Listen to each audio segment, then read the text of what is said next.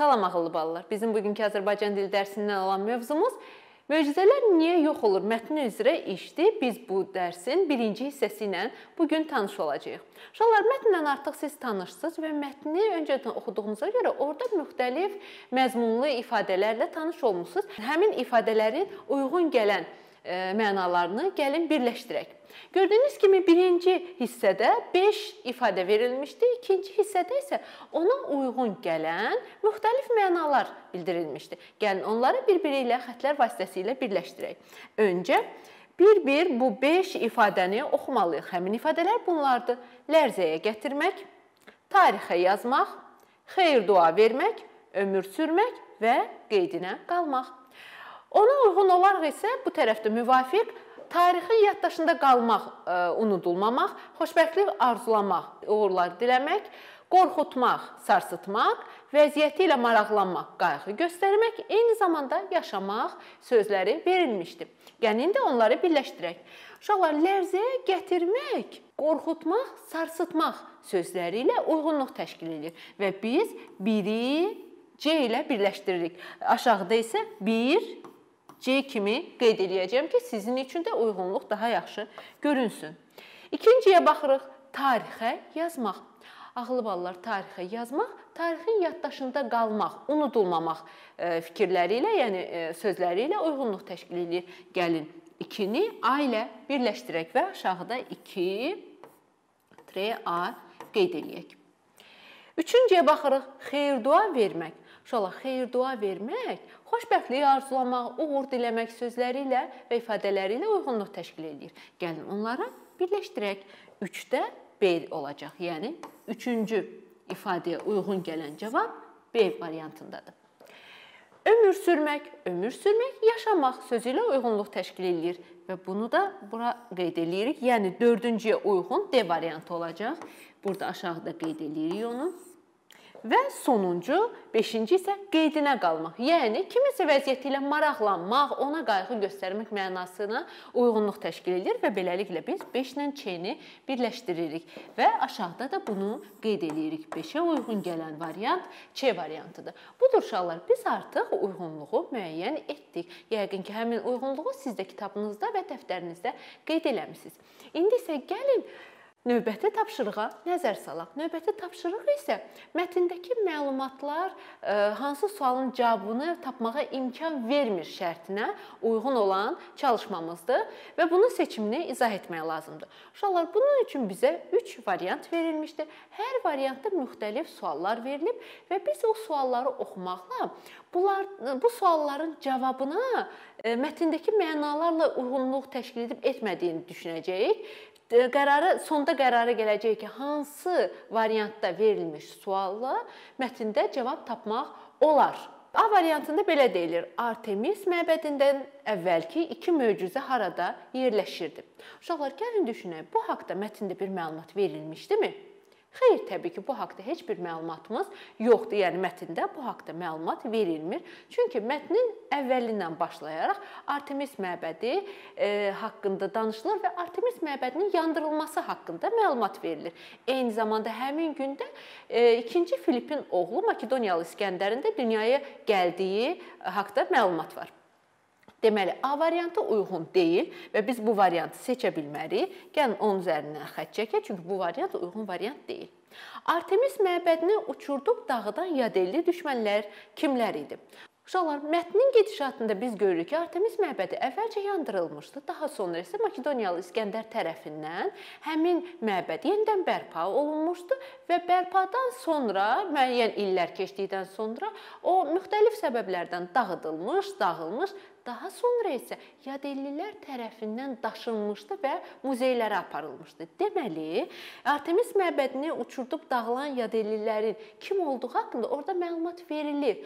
Bu e, İngiltərə dövlətindən olan şəxslər idi, hökumətindən olan şəxslər idi.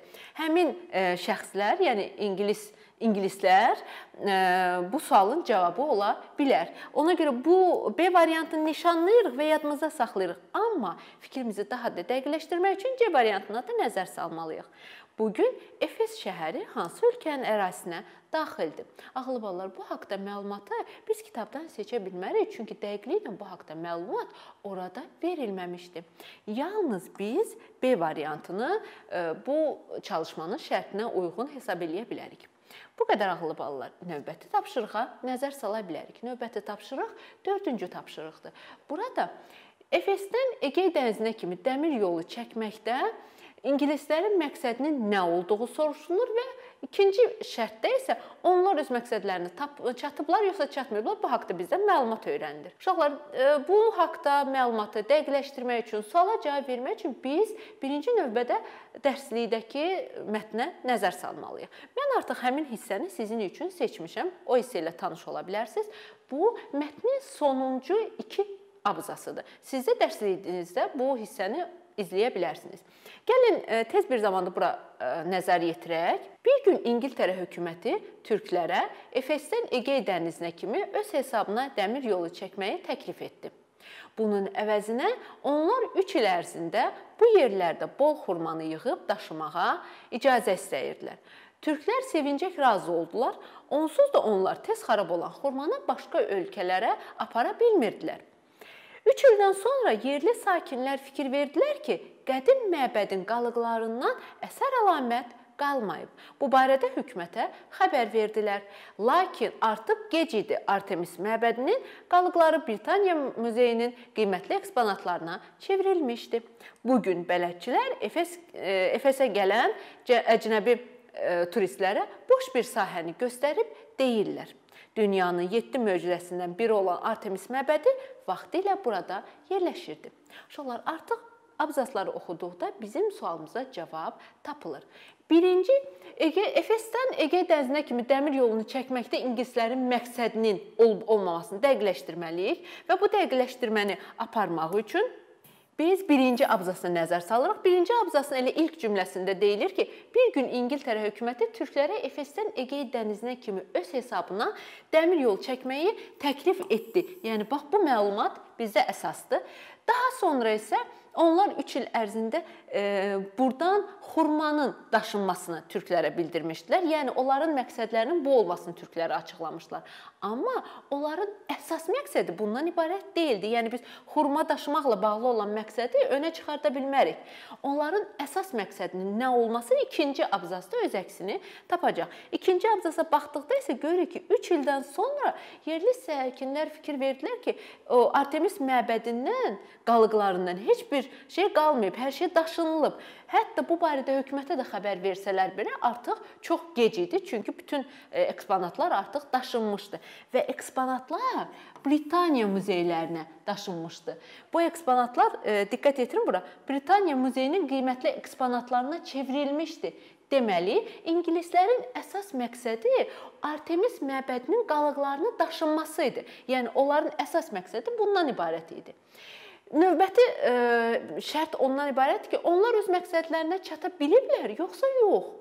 Bunun ə, e, cavabını tapmaq üçün isə yenə də növbəti ə, e, cümləyə baxırıq. Bu gün bələdçilər Efesə gələn əcnəbi turistlərə boş bir sahəni göstərib deyirlər: Dünyanın 7 möcüzəsindən biri olan Artemis məbədi vaxtilə burada yerləşib. Deməli, onlar həqiqətən də e, bütün daşları, yəni Artemis məbədinin bütün qalıqlarını daşıya biliblər. Yəni onlar öz məqsədlərinə çatıblar. Bu qədər uşaqlar. Biz artıq bu çalışmanın şərtlərini yerinə yetirdik və mətn üzərində işləyərək suala cavab tapdıq. İndi mən sizə e, başqa bir sualla müraciət eləmək istəyirəm. Bu suala siz cavabı distant dərslərinizdə tapacaqsınız. Uşaqlar, Gəlin sualı diqqətlə oxuyaq və sualın cavabının tapılması üçün müxtəlif arqumentlər fikirləşməyə başlayın. Elə indidən fikirləşməyə başlayın ki, distant dərslərinizdə yoldaşlarınızla müzakirəniz daha yaxşı olsun. Artemis məbədi ilə bağlı İngiltərə və Türkiyə hökumətlərinin hərəkətlərini necə qiymətləndirirsiniz? Diqqətli olun uşaqlar. Gördüyünüz kimi burada iki hökumətin Artemis məbədinə yanaşması var. Həm Türkiyə hökumətinin, həm İngiltərə hökumətinin. İngiltərə hökuməti bu ə, məbədin qalıqlarının daşınması ilə məşğuldur. Türkiyə hökuməti isə, daha doğrusu Türkiyədə yaşayan əhali məbədin qalıqlarının daşınması haqqında öz hökumətlərinə xəbər versələr də artıq heç nə geri qaytarmaq mümkün deyildi. Siz onların hərəkətlərini necə qiymətləndirirsiniz? Bax, bu haqqda arqumentlər toplayaraq yoldaşlarınızla bu mövzunu müzakirə edin. Bu qədər uşaqlar. Növbəti tapşırığımız 8-ci tapşırıqdır və 8-ci tapşırığımız isə dil qaydasına aid olan tapşırıqdır. Yəqin ki, siz mətni oxuyarkən altından xətt çəkilmiş cümlələri görmüsünüz. Həmin cümlələrə dair e, bir tapşırığımız var. Tapşırığımız bundan ibarətdir. Cümlədə olan baş və ikinci dərəcəli üzvləri müəyyənləşdirmək lazımdır. Həmin üzvlər hansılardır? Gəlin baxaq. Mən birinci cümləni burada yazmışam. Məbədin inşası üçün Yunanıstanın ən bacarıqlı memarları dəvət olunmuşdular. Uşaqlar, bununla əlaqədar olaraq mən birinci xəbəri tapmağa çalışacağam. Nə etmişdilər? Dəvət olunmuşdular. Bu xəbərdir. Mən artıq baş üzvlərdən birini müəyyənləşdirdim. İndi isə ikinci baş üzvü müəyyənləşdirmək istəyirəm. Kim dəvət olunmuşdu? Yunanistanın ən bacarıqlı memarları. Bax, bu suala cavab verən cümlə üzvü isə mübtədadır, yəni ikinci baş üzvdür. Və təbii ki, burada bir hissə qalıb ki, o da məbədin inşası üçün olan hissədir. Ona isə sual verərkən Nə üçün sualını veririk? Məbədin inşası üçün. Bu da ikinci dərəcəli üzvdür. Növbəti cümlələri isə artıq təhlil eləmək, onları baş və ikinci dərəcəli üzvlərə ayırmaq sizin işinizdir. Bu tapşırığı mütləq tamamlayarsınız. Uşaqlar, dərs bitdikdən sonra sizin edəcəyiniz tapşırıqlara nəzər salmaq vaxtıdır. Səhifə 111-dəki çalışma 2 və 7-ni yerinə yetirmək, çalışma 8-i isə tamamlamaq lazımdır. Eyni zamanda mətnə əsasən Artemis məbədinin tədricən yer üzündən silinməsinin, yer üzündən yox olmasının səbəblərini qeyd etməyinizi istəyirəm. Uşaqlar, orada bir neçə səbəb vardı. Təbii ki, birinci səbəb onun yandırılması, bərpa etdikdən sonrakı vəziyyətdə artıq həmin dinə olan e, inancların azalması, e, artıq təkallahlığın yaranması, bütlərə olan inamın azalması və bununla əlaqədar olaraq Artemis məbədinin ziyarət olunmaması, daha sonra isə onun dağılması, qalıqlarının daşınması və s. Bax, onun yer üzündən silinməsinin səbəbləri ola bilər. Bu səbəbləri ardıcıllıqla qeyd eləməyiniz sizdən istənilir. Üçüncü isə dünyanın 7 möcüzəsi haqqında məlumat toplamağınız lazımdır. Bu araşdırmanı aparın. Çünki növbəti dərsimizdə biz dünyanın 7 möcüzəsi haqqında məlumat əldə edəcəyik. Sonda isə mən sizə koronavirusla bağlı olan qaydaları təkrar eləmək istəyirəm. Həmin qaydalar bunlardır. Tibbi maska taxırıq, ara məsafəni gözləyirik və əllərimizi daim dezinfeksiya edici vasitələrlə təmizləyirik. Belə olduqda həm özümüzü, həm başqalarını koronavirus təhlükəsindən qoruyacağıq. Ağıllı balalar, eyni zamanda sizin nəzərinizə çatdırmaq istəyirəm ki, əgər televiziya vasitəsilə dərsimizi izləyə bilməmisinizsə, o zaman Təhsil Nazirliyinin rəsmi YouTube kanalından, Facebookda dərs vaxtı səhifəsindən və video.edu.az saytından bizim dərslərimizi mütəmadi olaraq izləyə bilərsiniz. Sağ olun ağıllı balalar. Sağlam olun. Növbəti dərslərdə mütləq görüşərik.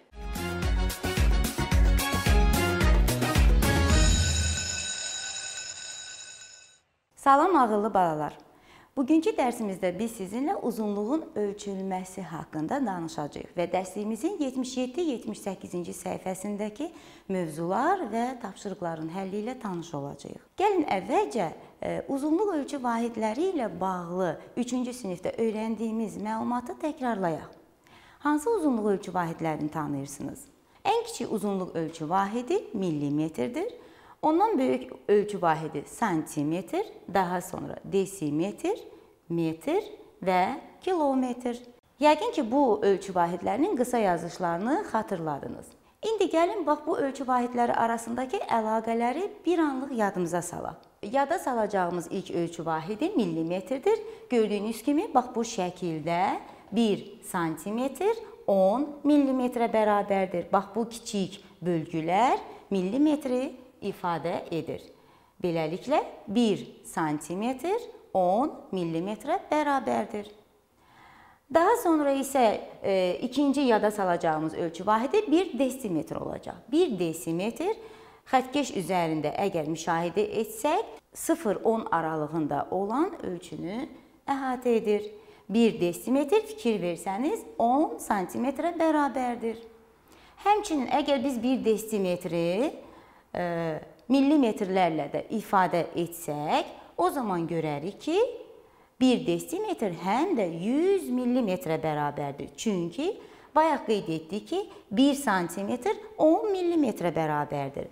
Desimetrin içində isə bax bu 10 millimetrlərin sayı 10 dənədir. Onu ona vurduqda isə 100-ə bərabərdir. Belə çıxır ki, 1 desimetr elə 100 millimetrə bərabərdir.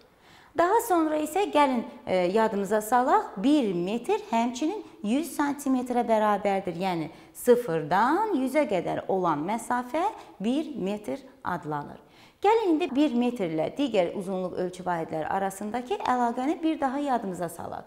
Beləliklə 1 metr 100 santimetrə bərabərdir. Həmçinin 1 metrin içində fikir versəniz, hər 10 santimetrin özü də 1 desimetrə bərabərdir. Bu isə onu göstərir ki, 1 metr həmçinin 10 desimetrdən ibarətdir.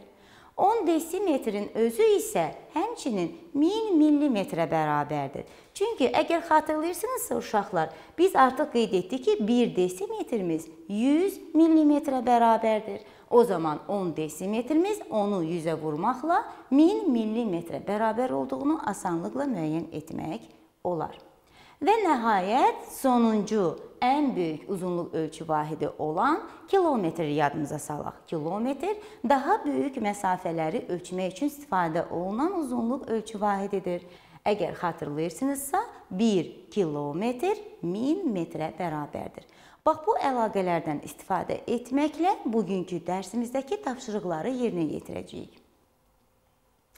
Gəlin əvvəlcə ilk tapşırığın həllinə başlayaq. Bax bu tapşırıqda uşaqlar biz kiçik ölçü vahidindən böyük ölçü vahidinə və yaxud əksinə böyük ölçü vahidindən kiçiyə keçmə qaydasını müşahidə edəcəyik. Daha doğrusu öyrənəcəyik.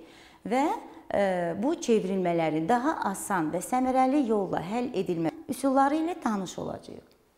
Əvvəlcə gəlin böyük ölçü vahidlərini uyğun kiçik ölçü vahidləri ilə ifadə etməyə çalışaq. 4 kilometr neçə metrə bərabərdir? Əgər xatırlayırsınızsa, biz qeyd etdik ki, 1 kilometr 1000 metrə bərabərdir. Hər 1 kilometrimiz 1000 metr olduğu üçün 4 kilometr 4 vurulsun 1000 metr olacaqdır. Bu isə bərabərdir 4000 metrə. Deməli 4 kilometr 4000 metrə bərabərdir. İndi 2 metri hesablayaq. 2 metri millimetrlə ifadə etməyə çalışaq. Gəlin xatırlayaq. 1 metr neçə millimetrə bərabər idi? Əgər yadınızdadırsa, 1 metr 1000 millimetrə bərabər idi. O zaman hər 1 metr 1000 millimetr olduğu üçün 2 metr 2 vurulsun 1000 millimetr bərabərdir 2000 millimetr olacaqdır. Beləliklə axtardığımız ədəd 2000-ə bərabər olacaqdır. Deməli, buradan belə aydın oldu ki, böyük ölçü vahidini uyğun kiçik ölçü vahidi ilə əvəz etdikdə bu zaman biz vurma əməlindən istifadə etdik. İndi gəlin kiçik ölçü vahidlərini uyğun böyük ölçü vahidləri ilə əvəz etməyə dair tapşırığı yerinə yetirək. Baxdığımız kimi 6000 metri kilometrlə əvəz etməliyik. Gəlin düşünək. 6000 metrin içində 6 ədəd 1000 metr vardır ki, hansı ki, hər 1000 metr 1 kilometrə bərabərdir. O zaman 6000 metr bərabərdir 6 vurulsun 1000 metr olacaqdır. 1000 metr özü 1 kilometr olduğundan və 6-nı da 1-ə vurduqda nəticədə 6 kilometrə bərabər olacaqdır. 50 santimetri desimetrə çevirməyə çalışaq. Əgər xatırlayırsınızsa, 1 desimetr 10 santimetrə bərabərdir. 50-nin içində isə bu onluqların sayı 5-ə bərabərdir. Yəni hər 10 santimetr 1 desimetr olduğundan 50 santimetr bərabərdir 5 vurulsun 10 santimetr olacaqdır.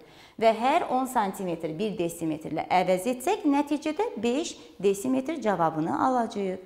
Deməli, axtardığımız ədəd 5-ə bərabərdir. Beləliklə, bu tapşırıqdan belə aydın oldu ki, bir uzunluq ölçü vahidindən digərinə keçmək üçün İndi e, bax bu sxemdəki ardıcıllıqdan istifadə etmək lazımdır. Belə ki, qırmızı oxun göstərdiyi istiqamətdə hərəkət etsək, yəni kiçik ölçüdən böyük ölçüyə doğru hərəkət etdikdə uyğun olaraq ona və minə bölmədən istifadə edəcəyik. Belə ki, millimetrdən santimetrə, santimetrdən desimetrə, desimetrdən metrə keçmək üçün ona bölmədən, metrdən kilometrə keçmək üçün minə bölmədən istifadə edəcəyik. İndi gəlin böyük ölçü vahidindən kiçik ölçü vahidinə çevirmə aparmaq üçün hansı ardıcıllığın yerinə yetirməyin lazım olduğunu müşahidə edək. Artıq tapşırıqdan və bu sxemdən aydın oldu ki, böyük ölçü vahidindən kiçik ölçü vahidinə keçmək üçün biz vurma əməlindən istifadə edəcəyik. Belə ki, kilometrdən metrə e, çevirmə etmək üçün minə vurmadan, metrdən desimetrə keçmək üçün ona vurmadan desimetrdən santimetrə, santimetrdən həmçinin millimetrə e, çevirmə aparmaq üçün yenə də ona vurmadan istifadə edəcəyik. Bax bu qanuna uyğunluqdan istifadə edərək biz bugünkü tapşırıqlarımızı yerinə yetirəcəyik. Belə bir tapşırığa baxaq. Cəmi 5 metr olmalıdır. Rəngli xanaların yerinə uyğun ölçüləri yazın. Birinci tapşırığa baxaq. 250 sm üstəgəl 17 desimetr və üçüncü naməlum toplanan verilmişdir. Tapşırığı yerinə yetirməzdən əvvəl gəlin 5 metrə uyğun digər ölçü vahidlərinə çevirmə edək. Çünki bu çevirmələr misalların həllində bizə lazım olacaq. 5 metr artıq bilirik ki, 50 desimetrə, 500 santimetrə və 5000 millimetrə bərabərdir.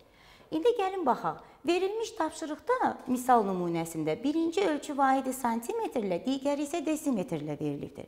Yaxşı olar ki, bu tip tapşırıqlarda uşaqlar siz eyni ölçü vahidinə çevirmə etməklə hesablamanı yerinə yetirəsiniz. O zaman gəlin bax bu misalda biz 17 desimetri santimetrə çevirək. Artıq bilirik 1 desimetr 10 santimetrdir. 17-ni 10-a vurmaqla nəticədə 100, 170 santimetr almış olacağıq. Gəlin toplamanı yerinə yetirək. 250 üstəgəl 170 ver, alınacaq 420 sm. Və qeyd etdiyimiz kimi e, nəticənin 5 metr olması üçün 5 metrdə bizdə 500 sm bərabərdir.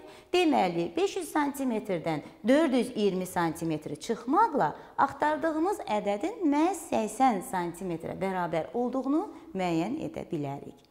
İndi gəlin bir başqa e, misal nümunəsinə də baxaq. Bax bu misalda isə uşaqlar komponentlərdən biri santimetr, digəri isə millimetr ölçü vahidi ilə verilmişdir. Gəlin burada da eyni ölçü vahidinə çevirmə edək, daha sonra hesablamanı yerinə yetirək. Burada isə mən santimetri millimetrlə əvəz edəcəyəm. 380 santimetri millimetrə çevirmək üçün təbii ki, böyük ölçü vahidindən kiçik ölçü vahidinə keçmək üçün mən ona vurmadan istifadə edəcəm. Çünki 1 sm 10 millimetrdir. 380 santimetrimiz isə 3800 millimetr edəcəkdir. Və nəticədə indi gəlin toplamanı yerinə yetirək. 3800 millimetr üstəgəl 300 millimetr bərabərdir 4100 millimetr. Biz artıq bilirik ki, 5 metr 5000 millimetrə bərabərdir. O zaman 5000 mm-dən 4100 mm çıxmaqla axtardığımız ədədin məhz 900 mm-ə bərabər olduğunu müəyyən edə bilərik. Bu misalları siz müxtəlif çevirmələr aparmaqla yerinə yetirə bilərsiniz. Qalan misalları da verilmiş izahın köməyi ilə əminəm ki, e, asanlıqla yerinə yetirəcəksiniz. Gəlin bir başqa tapşırığa baxaq. Eyni ölçünü müxtəlif vahidlərlə ifadə edin. Məsələn, 40 desimetr 8 santimetr. Gəlin bu ölçünü əvvəlcə metr və santimetrlə əvəz edək. Artıq biz bilirik 1 metrimiz əgər 10 desimetrə bərabərdirsə və bu 40 desimetrin içində bu onluqların sayı 4-ə bərabərdir. O zaman metrlərin sayı da 4, 4 olacaqdır. 4 metr 8 santimetr. Daha sonra biz bu ölçünü həmçinin ümumi olaraq santimetrlə də ifadə edə bilərik. 4 metrimiz həmçinin 400 santimetrə bərabərdir. O zaman 408 santimetr olacaqdır. Və nəticədə verilmiş 408 santimetri həmçinin millimetrlə də ifadə edə bilərik. Artıq biz bilirik 1 santimetr 10 millimetrə bərabərdir. Verilmiş ədədi də 10-a vurmaqla asanlıqla 4080 millimetri tapmış olacağıq. İndi isə uşaqlar biz dərsliyimizin digər səhifəsində olan təxmini ölçülər haqqında danışacağıq.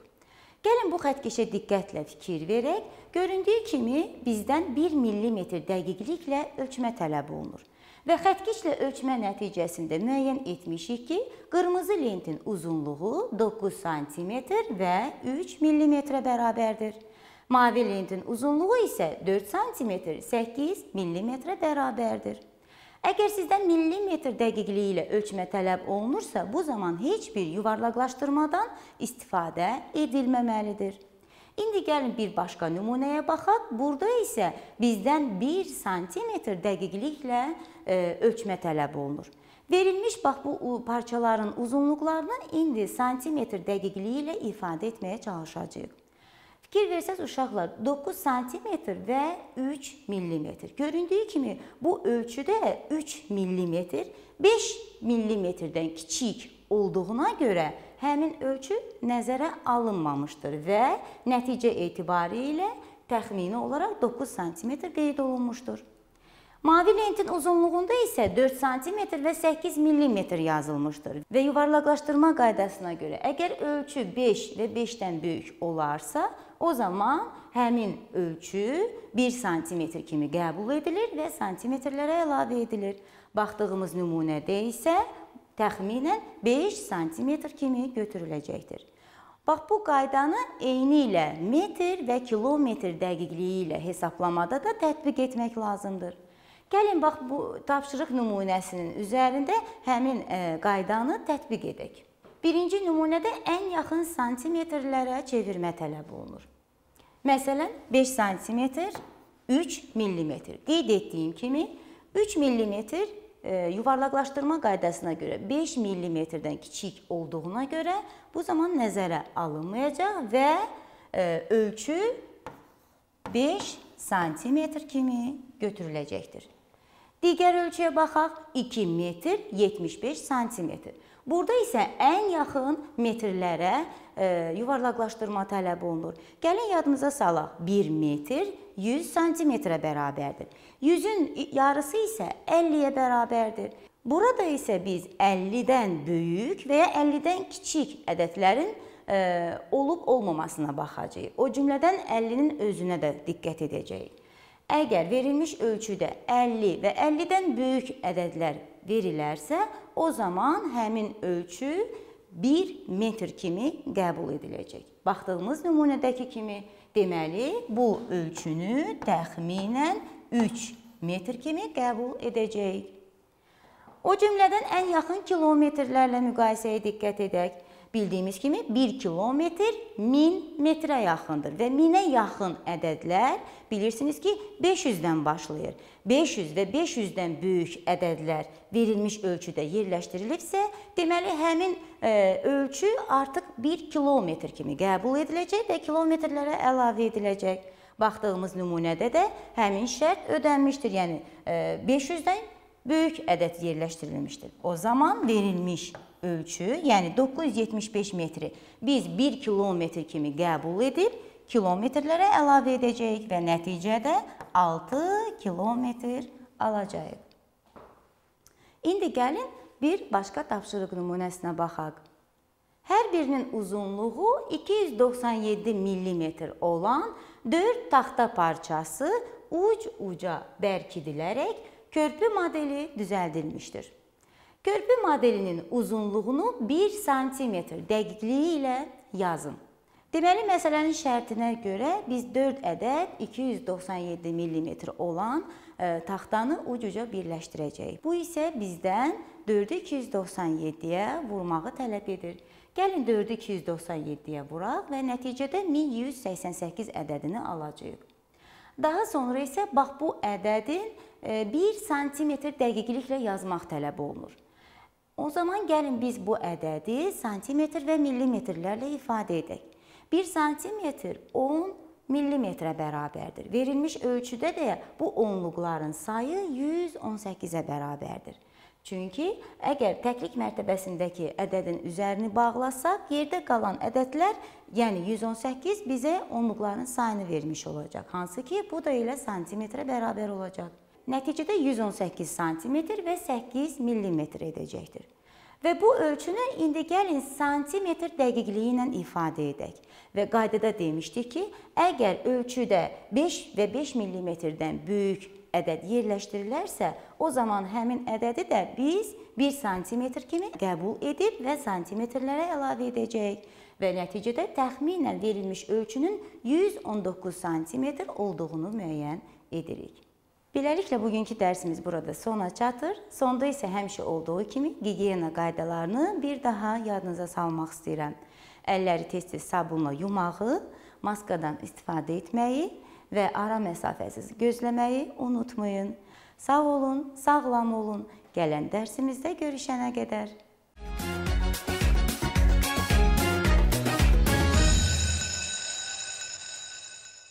Hello dear friends, I'm really very glad to welcome you at our today's English lesson. I hope you are all fine. So if you are ready dear friends, open your books, sit closer and let's start to learn interesting things. Today we will take a new unit, Unit 5, Holidays and Lesson 1. As you see from the name of our unit, we will speak about holidays.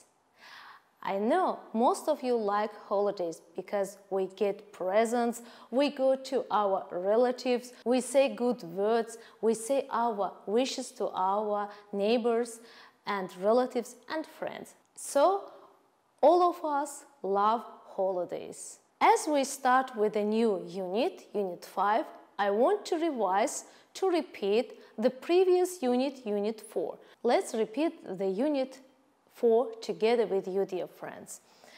Write the names of the items of computer.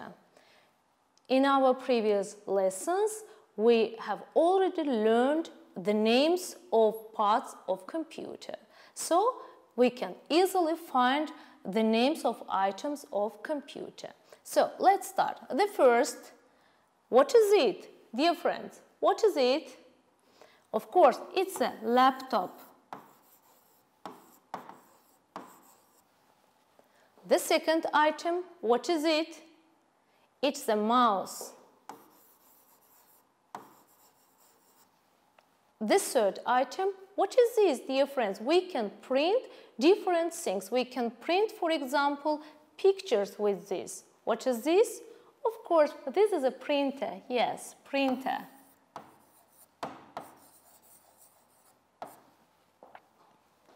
The next item, we can type texts and other things with this item. What is this? Of course, this is a keyboard.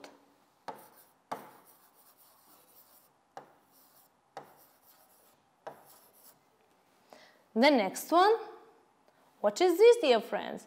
Of course, this is a CD-ROM. The next one, what is this? We can watch videos, pictures, and uh, we can watch everything with this item. What is this? Yes, this is a monitor.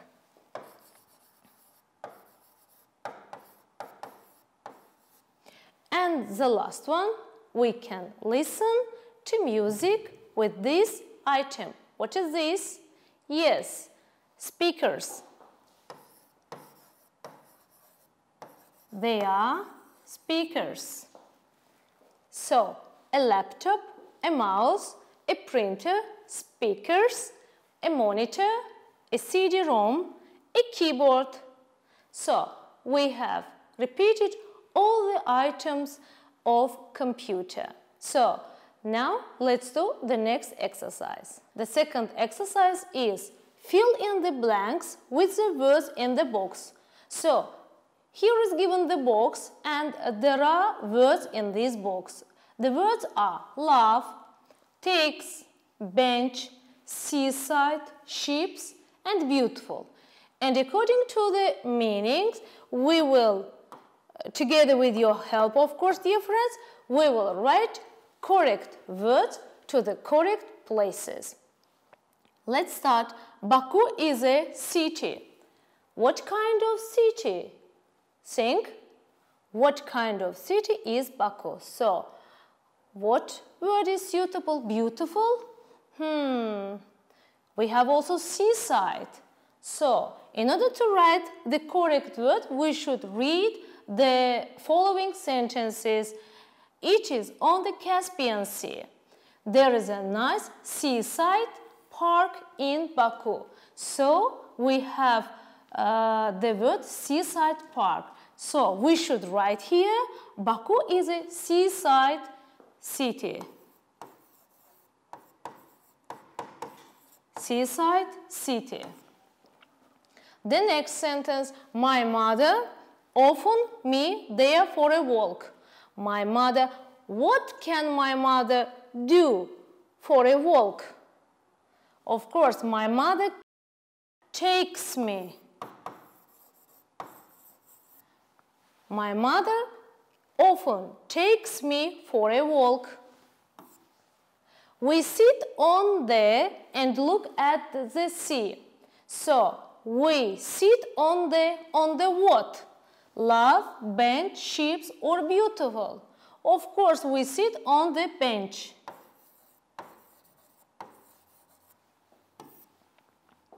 There are trees and flowers at the road. There are trees and flowers. So, which one is suitable? Yes, beautiful. There are beautiful trees and flowers at the road.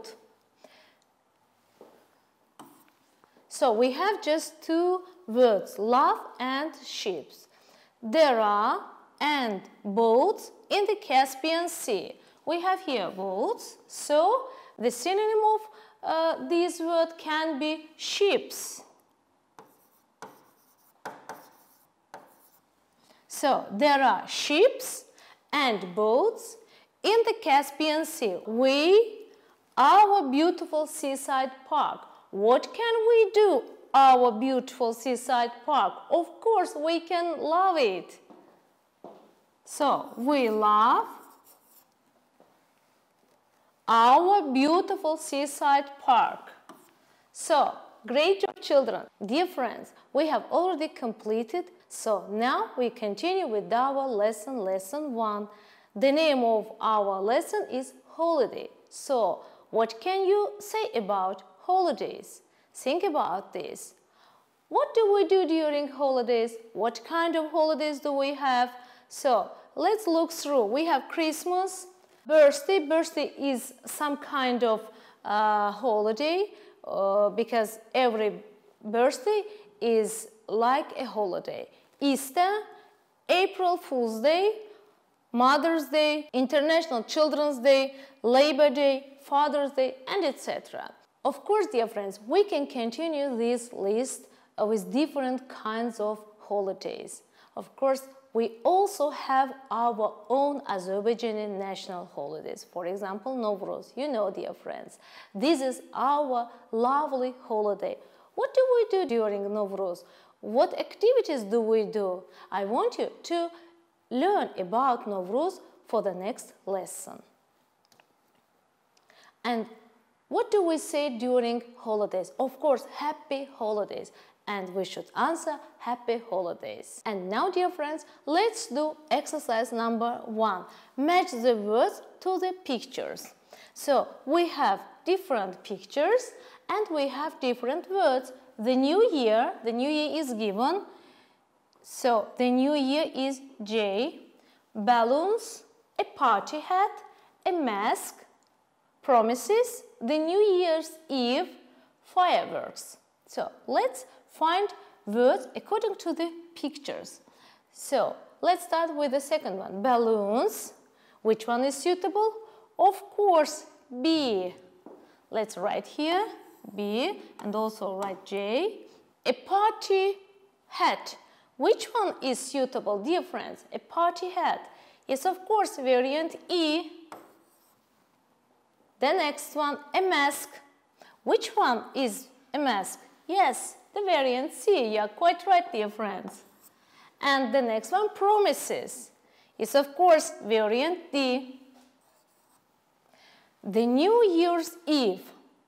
The New Year's Eve, it means that uh, we are on the New Year's Eve, so it is not the New Year, but we are on the New Year's Eve. So uh, the 31st of December can be the correct answer. So the correct answer is A. Fireworks, of course, the variant F. Great job, children. Thanks. Dear friends, we continue with the exercise number two. Complete the text with the words in the picture. As you see, there are some words and there are some spaces in the text. So uh, now we will listen to the track and after listening, we will do this exercise together with you. Listen carefully and be attentive. You can also make some notes while listening. Track 17. Listen and check. My favorite day is a New Year Day. The 31st of December is the New Year's Eve. We have the New Year Day on the 1st of January. Santa Claus comes on holiday night. He puts his presents under the New Year tree. We have fireworks and don't go to bed until midnight. We see the new year in and the old year off. We eat delicious food. I hope, dear friends, you listened carefully and you were attentive. And let's do this exercise together with you. So let's start. Our words are midnight, New Year, Santa Claus, presents and fireworks. And let's find true words to the correct places. My favorite day is a which one is correct? Of course, is a New Year day. New Year day. The 31st of December is a New Year's Eve. We have the New Year day on the 1st of January. Comes on holiday night. Who comes on holiday night? Of course, Santa Claus comes on holiday night.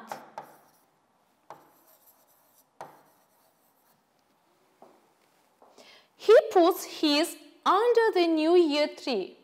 What does he put? Pay attention. Yes, presents. Let's write presents. He puts his presents under the New Year tree. We have, and don't go to bed till the next word. So we have what? Of course, we have fireworks. Fireworks. And don't go to bed till, till what? Of course, midnight.